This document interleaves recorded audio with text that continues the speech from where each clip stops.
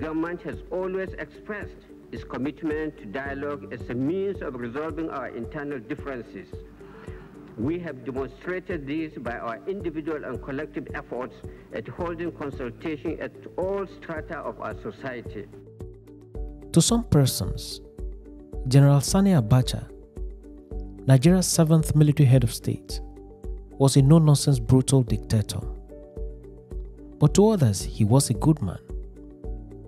In this episode, we bring to you the good side of Sani Abacha, having recently brought to you the bad side of the same man. Welcome to this edition of Back in History.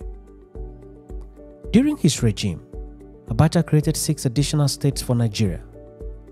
The states were Ebonyi, Bayelsa, Nasarawa, Gombe, Ekiti, and Zamfara states. For citizens of these states, Abacha was a good man who came to their aid at a time they did not expect. The creation of a unique identity for them could only be done by a man of goodwill. During his tenure, Abacha refused to take foreign loans. He carried on with the construction of infrastructure in the whole of Nigeria without loan. He resisted every invitation to take loans. Though the IMF and other money lending bodies were not happy with him, many Nigerians were happy. They saw him as a wise president who was not ready to plunge his country into years of indebtedness. During his tenure, Abacha constructed federal secretariats across the Federation of Nigeria.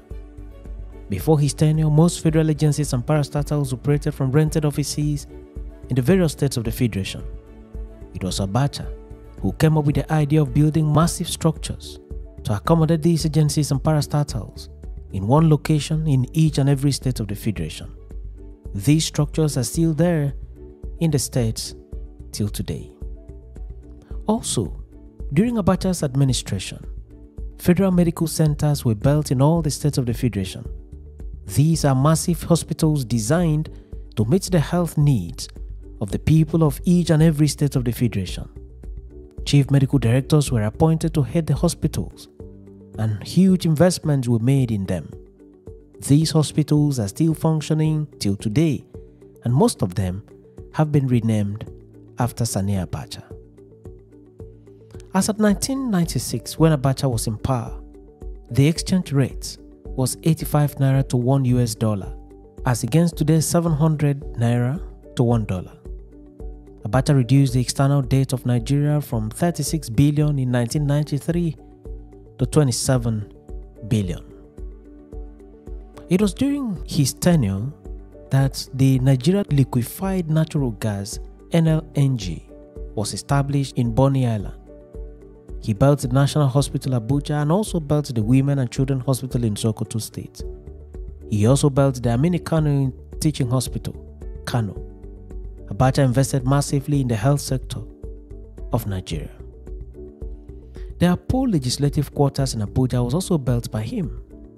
The idea of the six geopolitical zones for Nigeria was also given recognition during Abacha's regime.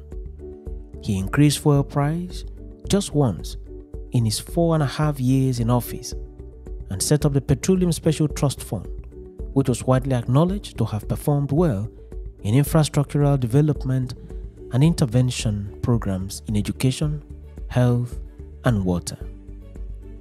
For the people of Kano and other parts of northern Nigeria, Abacha was a hero. For the contractors who were given huge contracts by the regime, Abacha was their benefactor and a hero to them. For General Ibrahim Badamasi Babangida, who occupied the office of head of state before Abacha, Abacha was a savior. When Major Gideon Orkar staged a coup in 1991 against the regime of Ibrahim Badamasi Babangida, Abacha was the most visible senior officer who changed into combat gear and engaged the coup plotters in combat and chased them out of Dodan barracks while some of the coup plotters were captured alive and put to trial. Upon the frustration of the coup, Abacha had every opportunity to have declared himself as the new head of state of Nigeria. Babangida having escaped for safety, but refused to take over power. He protected the seat of power and invited Babangida via telephone call to return to his seat.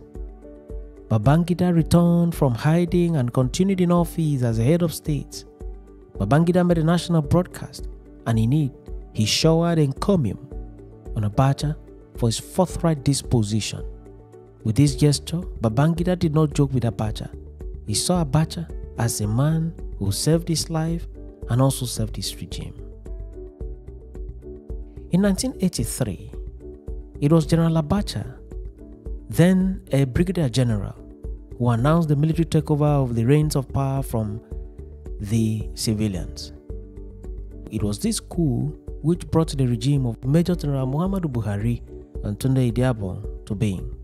When Buhari and Idiagbon derailed from the charted course, it was again General Sani Abacha who announced their removal and the constitution of the Armed Forces Ruling Council with General Ibrahim Badamasi Babangida as the military head of state. For most of the military officers whom Abacha appointed as governors, Abacha was a good man. It was Abacha who created Federal Character Commission to address perennial imbalances in the appointment of persons into offices in the country. Abacha played a significant role in securing peace in Sierra Leone and Liberia through the deployment of Nigerian soldiers to the warring countries. The man Abacha was like the elephant and the description of his personality depended largely on the parts of the elephant that the person describing it may have touched in person or may have been told about. Many thanks for watching this episode of Back in History and do remember to follow the page and share the video with friends and loved ones.